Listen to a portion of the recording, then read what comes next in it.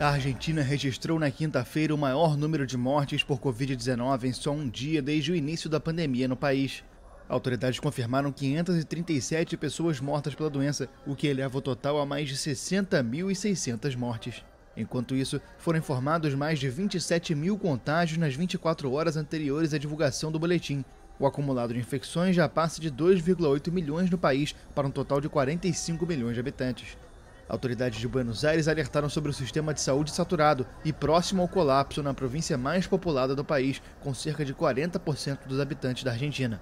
Na região metropolitana da capital, onde vivem 15 milhões de pessoas, foi identificada a maior velocidade de infecções nas últimas semanas.